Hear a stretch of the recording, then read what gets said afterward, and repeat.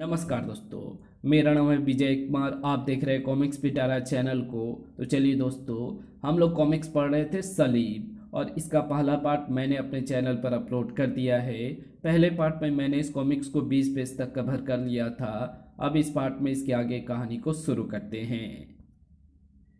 वजह जिन्हें मालूम थी, उनके चेहरे चिंता की घनी लकीरों से ओत प्रोत थे।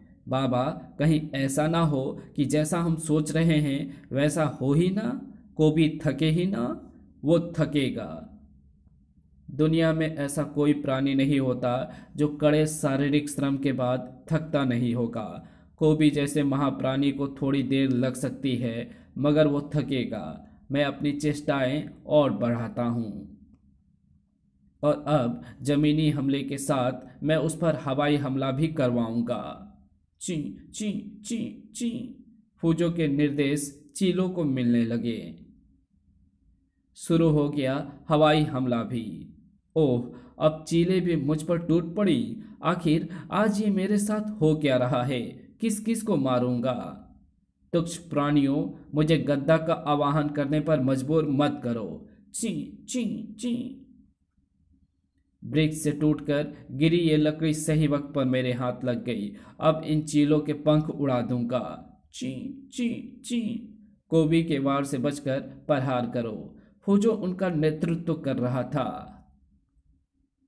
कोबी कब तक लाठी की तरह घुमाता रहता उस लकड़ी को।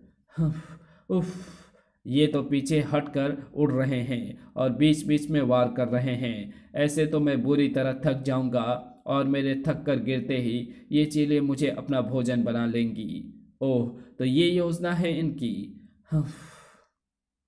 ओह, वो गुफा सही समय पर दिखी। मैं उधर ही भागता हूँ। चलो, चीलों से तो छुटकारा मिला। ची ची। लेकिन, अरे बाप रे।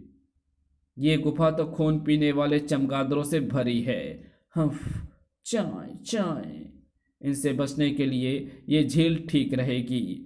कोबी ने गर्दन थोड़ी देर बाद बाहर निकाली। वाह, चमगादड़े भी गई और चीले भी। मगर इसका क्या करें कि कोबी का बाहर निकला सिर तुरंत ही वापस पानी में समा गया। डुबुक ओह, ये क्या? मुझे पानी में कौन खींच रहा है? गुलुप फिर से सामत आई, आ गई थी कोबी की। या कहें कि उन मगरमच्छों की। गर कोबी की टांगों तो तुमने देख ली। अब उसकी सूरत भी देख लो। कम जातो। क्योंकि अब ऐसी सूरत तुम कभी नहीं देख पाओगे। थर्ड थकावट के लक्षण कोबी के चेहरे पर अब दिखाई देने लगे थे। फुजो बाबा, वो थक रहा है। मेरे ख्याल में अब मुझे खुद जाकर कोबी को बंधक बनाने की कोशिश करनी चाहिए। हम नहीं, मेरे आदेश तक रुको। उसे बुरी तरह थकाना मेरा उद्देश्य है। उस मगरमच्छ को कोबी के चंगुल से छुड़ाना होगा। कम वक्त मारे, मेरी टांग तो तू नहीं खा पाया। ले, ये घूसे हम खा, और खा। हम फुजो ने निकट ही चढ़ते उन बारह सिंगों को आदेश दिया।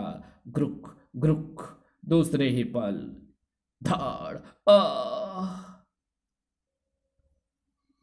कोबी पर जब भी कोई प्रहार करता है तो मेरा दिल दहल जाता है, भेड़िया। कहीं कोई वार जानलेवा हो गया तो हम ऐसा करने के लिए मजबूर हैं, जेन। वो देखो, जंगल की रक्षा की खातिर जंगली जानवर भी तो कष्ट सहकर अपना सहयोग दे रहे हैं। हम तुझे कम से कम बारह चक्कर लगाकर फेंकूँगा। हम कोबी फौजों के बिछाए जाल में लगातार फंसता चला जा रहा था। कोबी पागलों की तरह भगोरे बारह सिंगों के पीछे भागा। ग्रुक ग्रुक, छोड़ूँगा तुम्हें भी नहीं। क्रोध में उसे इस बात का ध्यान ही नहीं रहा कि वो पूंछ बढ़ाकर भी उनकी भाग दौड़ पर अंकुश लगा सकता है। रुका तब जब तु, तुम हाँ मैं भेड़िया बहुत देर से तुम्हारी भाग दौड़ देख रहा हूँ। धम। उफ जंगल में तूफ़ान मचा रखा है तुमने। हम धाड़। अब इस तूफ़ान को शांत हो जाना चाहिए। और ये तूफ़ान तभी शांत होगा जब तुम शांत होगे और तुम तभी शांत होगे जब तुम्हारे होश शांत होंगे। धाड़। हम कोबी ने पूछ का फंदा भेड़िया के गले में जकड़ दिया।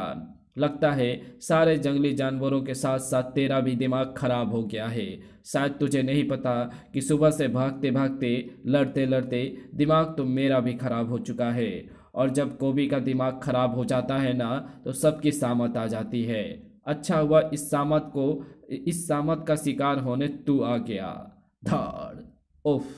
तुझे ये बात समझाई नहीं जा सकती कोबी कि सामत तो हम सबकी आने वाली है।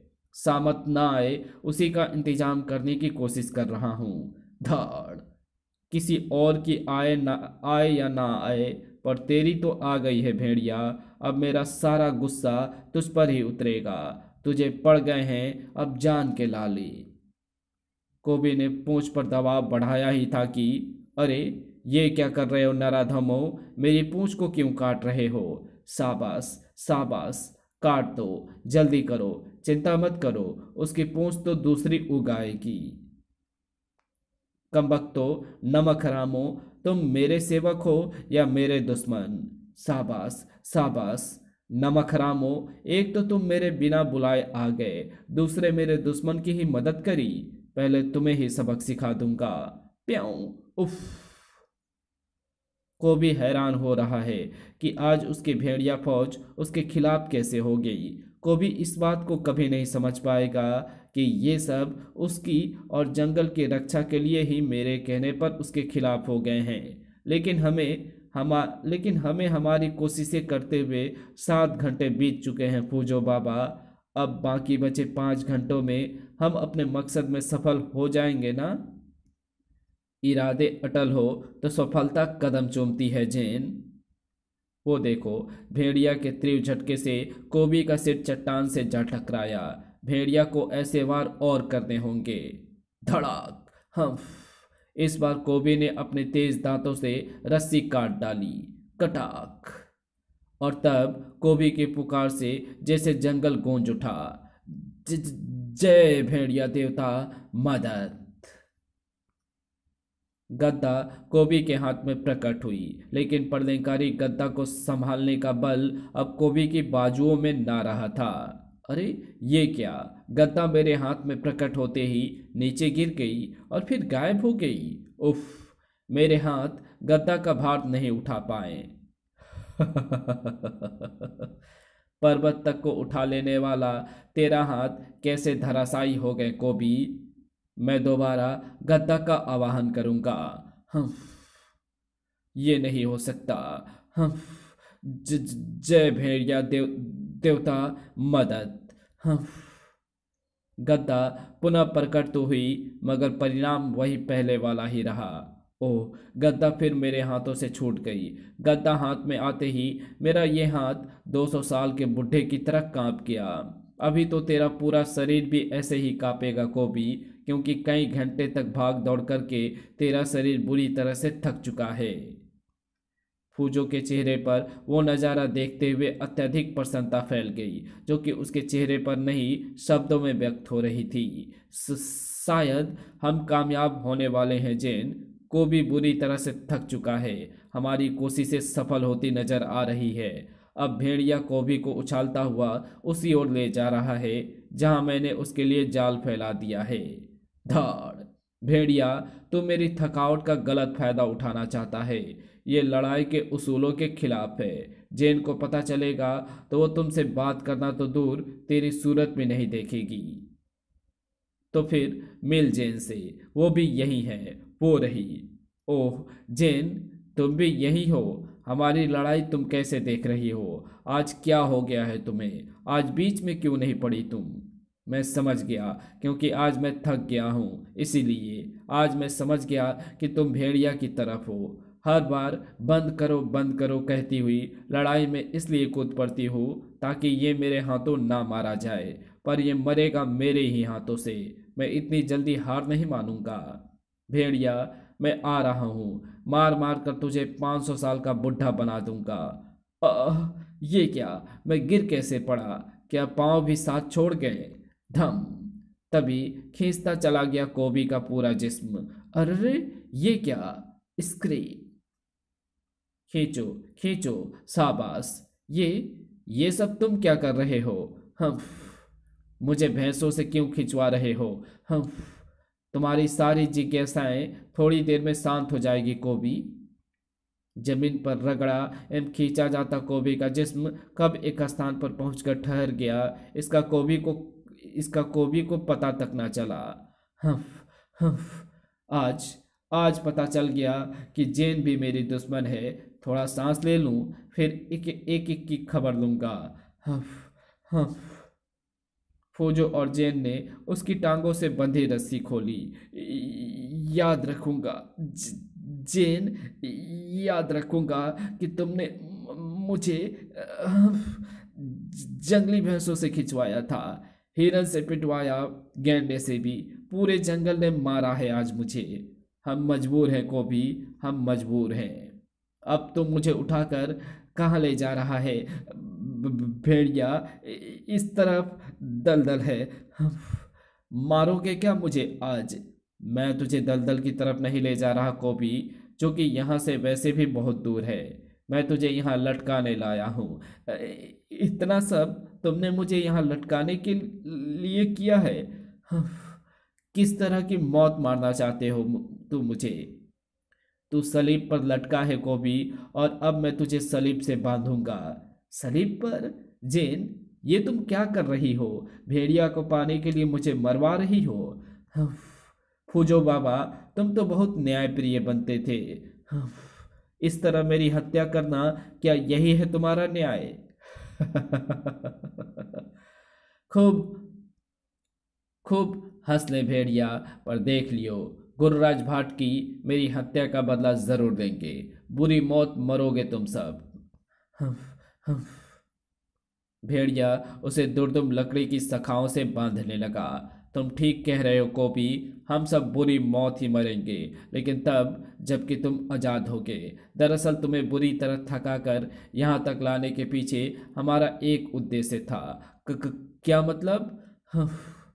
आज मैं तुम्हें बताती हूँ कोबी तुम कह रहे था तुम कह रहे थे ना कि मैं तुम्हारी और भेड़िया की लड़ाई में हर बार कूद पड़ती हूँ पर आज क्यों बीच में नहीं आई?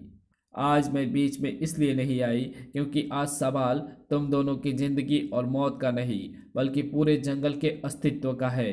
हाँ कोबी जेन उसे सब बताती चली गई जिसे सुनने के बाद कोबी बुरी तरह से बौखला उठा। तो तो, तो क्या अब तो मुझे ठोक दोगे? हाँ कोबी ऐसा करना ज़रूरी है। वो देखो, भेड़िया तो खुद जाकर सलीब पर लटक रहा है। धोखा, तुमने मेरे साथ धोखा किया। पहले मेरे हाथ, मेरे हाथों ही पेड़ तुड़वाया। अब उसी पर मुझे ठोकना चाहते हो? मुझे खोल दो। मैं भी अपने आप सलीब पर लटकूँगा। अब ये मुमकिन नहीं है को भी और इस सलीब से छूटने के लिए जरा सी भी ताकत व्यर्थ मत करना, क्योंकि यह दुर्दम लकड़ी की सलीब है। उसी की सखाओं से तुम बंधे हो। बुढ़े ठुड्डे कील हटा। ठोकना इसलिए ज़रूरी है ताकि छूट पाने की कोई भी संभावना ज़िंदा ना रहे। जल्दी करो बाबा, जल्दी करो। बुढ़े ठुड्डे मान जा। ये बात समझ ले कि मुझे कोई भी चीज़ कैद नहीं कर सकती, चाहे वो दुर्दुम की लकड़ी हो या कोई फौलाद। मेरी ताकत थोड़ी ही देर में वापस आ जाएगी और तब मैं छूट कर तुझे ज़मीन में गाड़ दूँगा। उफ। ब्लैंक। जंगली शेर की भांति दहाड़ पड़ा कोबी। तड़प उठी जेन। सीना दर्द से जैसे छलनी हो गया। उफ, नहीं, मैं ये सब नहीं देख सकती। कभी नहीं।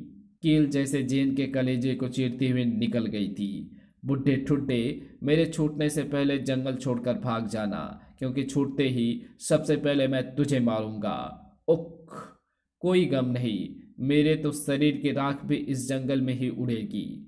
तुझे भी ऐसे ही ठोकूँगा, बुढ़े ठुड्डे, ऐसे ही ठोकूँगा।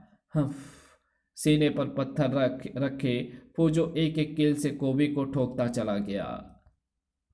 जल्दी करो बाबा, जल्दी करो। पता नहीं क्यों मुझे बेचैनी सी होने लगी है, कहीं वो पल समय से पहले ना आ जाए।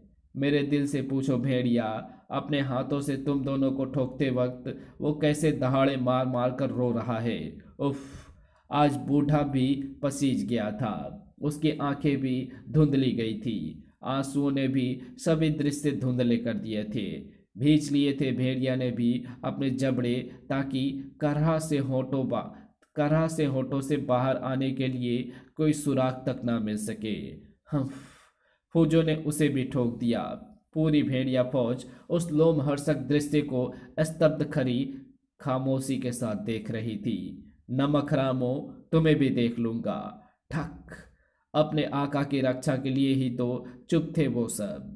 इस कहानी को यहीं समाप्त करते हैं। इस कहानी की, इस, इसके आगे कहानी पढ़ेंगे हम इसके पार्ट थ्री में। तो मिलते हैं इसके तीसरे पार्ट में। तब तक के लिए बाय अगर आपको ये वीडियो पसंद आई हो तो इस वीडियो को लाइक शेयर कमेंट ज़रूर कर देना।